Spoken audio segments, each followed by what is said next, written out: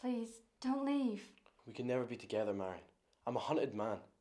Your father wants me dead. Then take me with you. I can't. I live an outlawed life. You deserve a good life, Marion, and I can't give you that.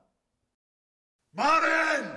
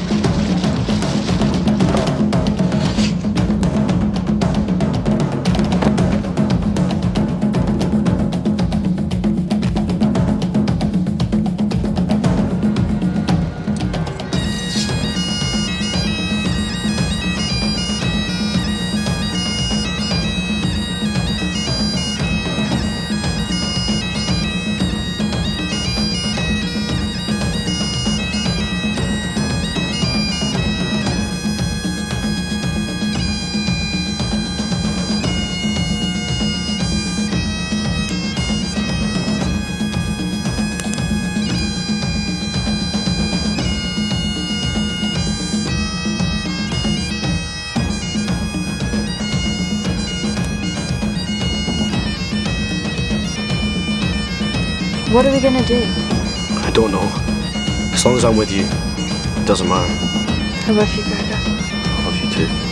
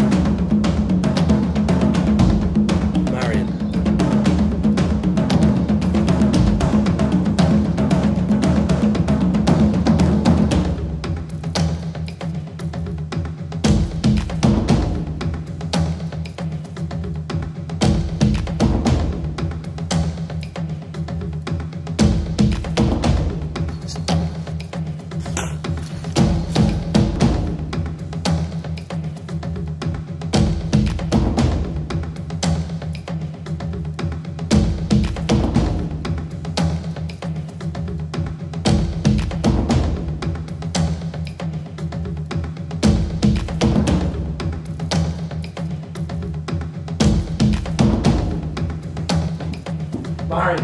Michael, what are you doing here? I see you one last time.